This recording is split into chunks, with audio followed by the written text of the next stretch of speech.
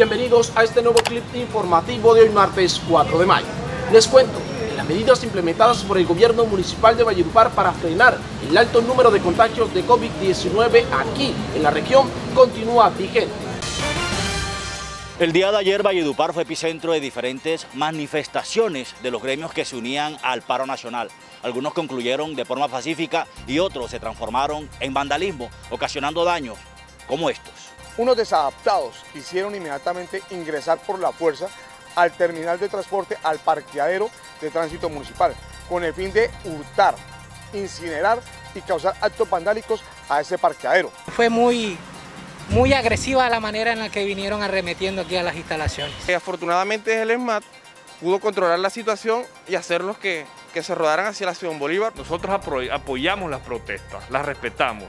Los días anteriores vimos cómo Valledupar protestaba de manera pacífica, pero lo que no podemos permitir es, son los actos vandálicos que se presenten en la ciudad. Con dos nuevos avances tecnológicos cuenta la Universidad Popular del Cesar, los cuales no solo estarán al servicio de sus estudiantes en las áreas de psicología y enfermería, sino que podrán ser aprovechados por otras instituciones. Poner al servicio de toda la comunidad estudiantil esta cámara de GESEL. Eh, los psicólogos podrán determinar si una persona en su momento te está mintiendo o está diciendo la verdad en la Universidad Popular del Cesar se hizo entrega del simulador materno para el programa de enfermería, que sin duda alguna tendrá un impacto positivo en la educación de la región. Ese simulador de parto es un gran logro y es la primera universidad pública que tiene ese simulador de parto. El choque de dos vehículos en la vía que conduce de Codazzi a Casacará dejó como saldo una persona muerta y cuatro heridas. La víctima fatal fue identificada como Wilfredo Amaya Carrascal, de 40 años, conductor de uno de los automotores implicados. Delincuentes asesinaron al docente David Alberto Caselles Casadiego, de 49 años de edad, en su residencia ubicada en zona rural del municipio de Río de Oro, Cesar. Según las primeras informaciones, sujetos ingresaron a la vivienda donde se encontraba el reconocido docente, quien opuso resistencia al parecer al hurto de la motocicleta, siendo asesinado en el lugar de los hechos.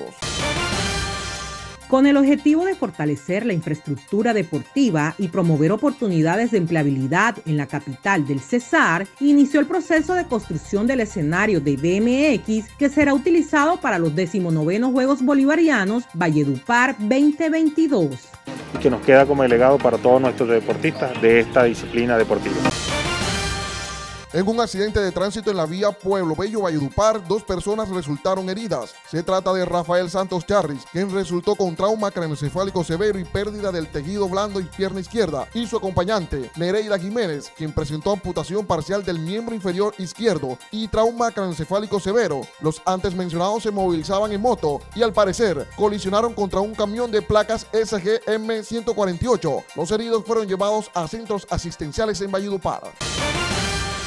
La empresa de servicios públicos de Valledupar, Endupar, realizó un trabajo para mejorar el servicio de agua en el sector de los Guayacanes y así garantizar un óptimo servicio. La mejoría no era constante, era intermitente, llegaba, se iba y logramos nosotros ahora sí tener una mayor cobertura, una mayor presión. El Ejército Nacional está realizando incorporaciones para aquellos jóvenes que no han definido su situación militar. Los requisitos que deben cumplir es ser mayor de 18 años y menor de 24 años y tener excelentes condiciones físicas. Vamos a estar ubicados en el departamento del Cesar, en los municipios de La Mata, La Loma, aquí en el Cantón Militar La Popa, en La Guajira, en Distracción, Buenavista.